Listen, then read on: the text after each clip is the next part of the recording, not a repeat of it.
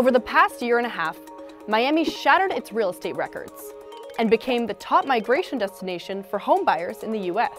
It's one of the fastest growing cities in the country, but also one of the most vulnerable to climate change. That's because hurricanes are intensifying, sea levels are rising, and homes in the area are built low, residing mostly on limestone. So city officials are actively looking for solutions. And building a wall? Well, not so fast. Back in August, Miami-Dade County rejected a multi-billion dollar proposal which included up to 20-foot walls.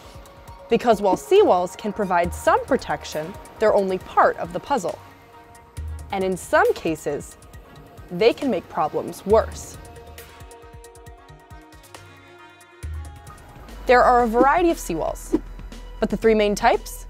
Curved, vertical, and mound. Curved walls resemble the shape of a wave and are designed to redirect and decrease wave energy, creating less turbulent conditions. Compared with vertical walls, curved seawalls can provide extra protection at the base and prevent overtopping. And mound walls gradually slow incoming waves, minimizing erosion. They've been made from different materials, and some of them are very successful and have been durable throughout the, let's say, uh, the history. Like in 2004, when a 300-year-old seawall in Pondicherry, India, kept the city safe from tsunami waves more than 24 feet above high tide. However, as effective as seawalls can be, they still come with a host of problems, including one that may negate their purpose altogether.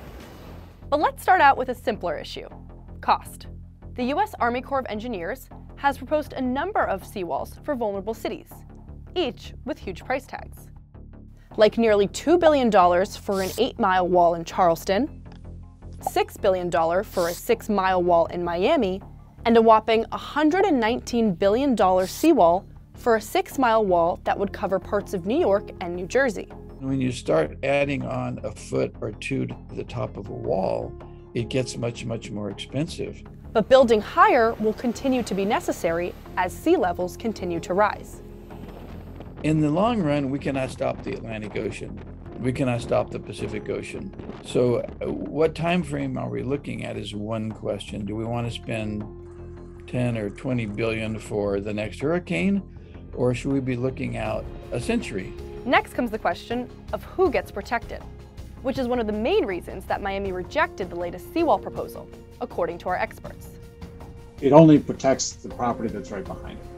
So it doesn't protect anything in front of it, which includes all of Miami Beach, Key Biscayne, all these areas that are Watson Island, the cruise ship terminals, everything that sits seaward of that where that seawall would be. Neighboring Miami Beach is surrounded by approximately 55 miles of seawalls, but nearly all of those are privately owned. Plus, there are environmental concerns. This large 20-foot seawall will be in Biscayne Bay, blocking the natural flow of water in those areas. And we don't have a good understanding of what that'll do to the long-term ecology of the area and the water quality and things like that. But their biggest flaw? Seawalls can amplify negative effects.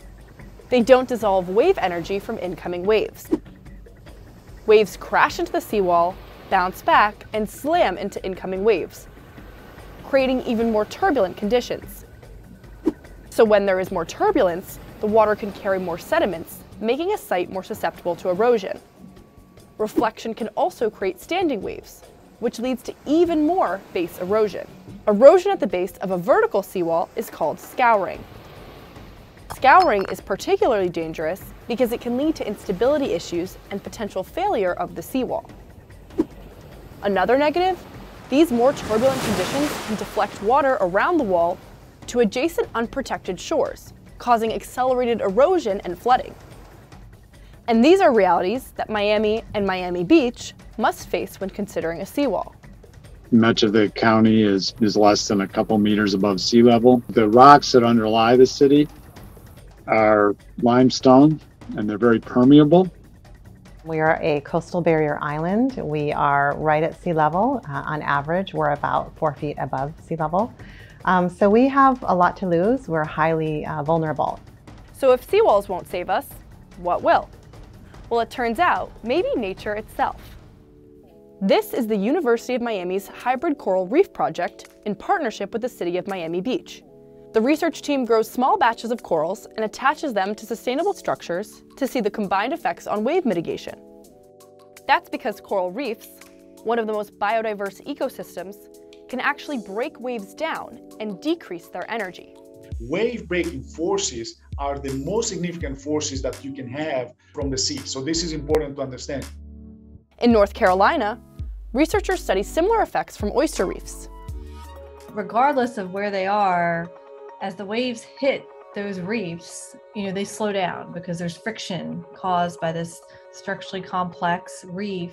The water has to pass over it. Sometimes a wall is is the only option.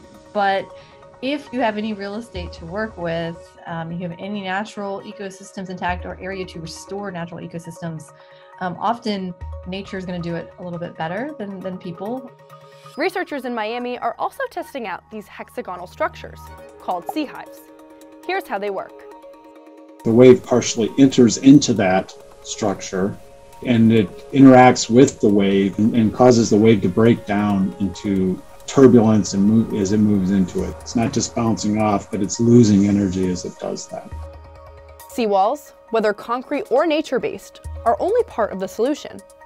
Miami Beach is preparing for the worst, with plans to construct elevated roadways, implementing stricter building codes, upgrading stormwater systems, and finding ways to make existing property more permeable so water can drain.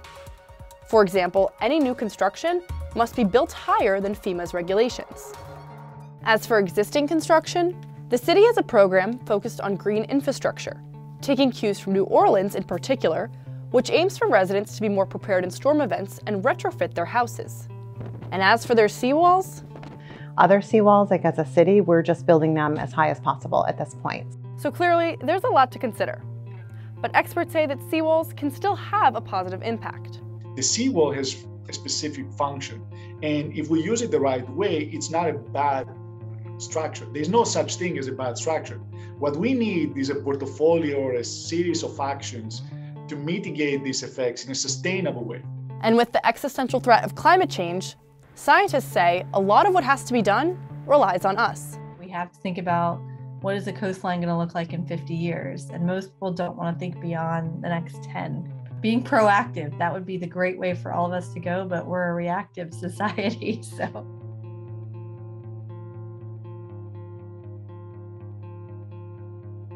What are your thoughts on seawalls? Are they worth the price tag? We want to hear in the comments below, and don't forget to like and subscribe for more.